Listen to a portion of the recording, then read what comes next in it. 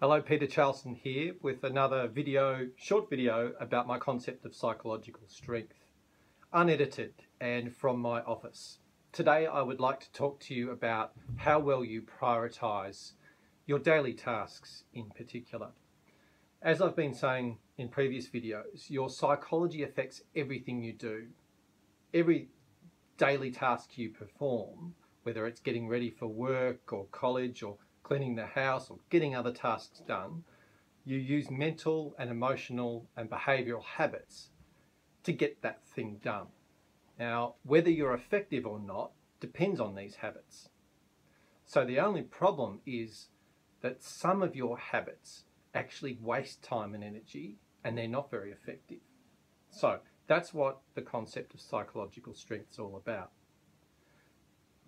excuse me. So in order to reach your potential, your daily habits need to improve.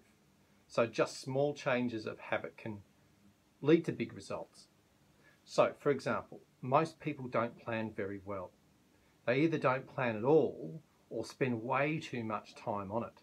So when you plan your week, think about what you typically do.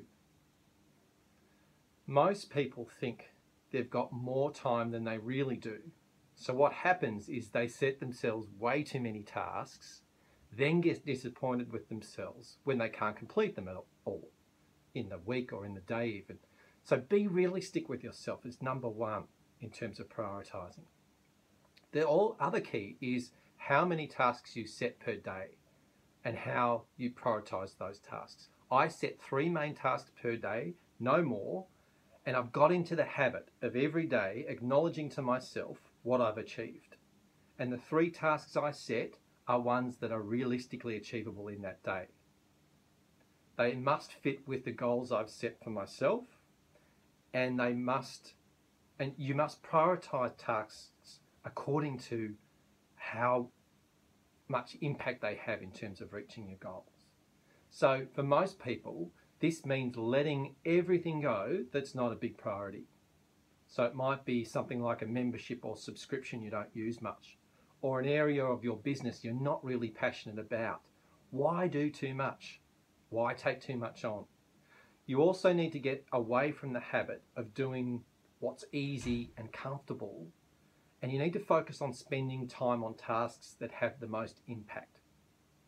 For example, for me in running a psychology business, contacting clients who've not booked an appointment lately is a really top priority, even though I might be anxious at calling or texting people out of the blue. Promoting the courses I run is also a priority.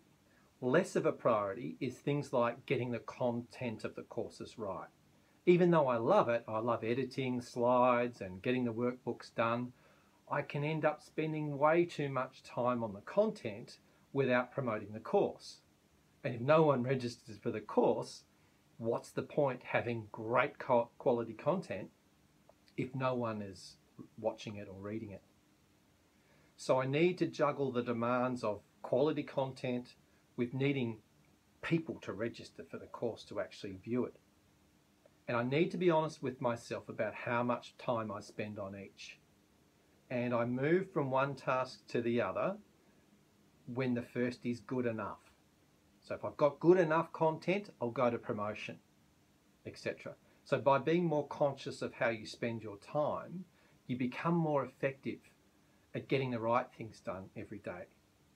And every day you do this contributes to your self-worth and it builds your psychological strength because the three tasks you set maximum per day are achievable and every day you end the day thinking, yeah, I've accomplished something.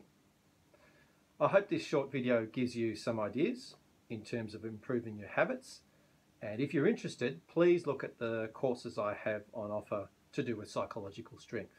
That's at mental-strength.com. And you'll hear from me again. Hopefully you'll be able to tune in. Please subscribe to my videos as well. There'll be more to come. Thanks.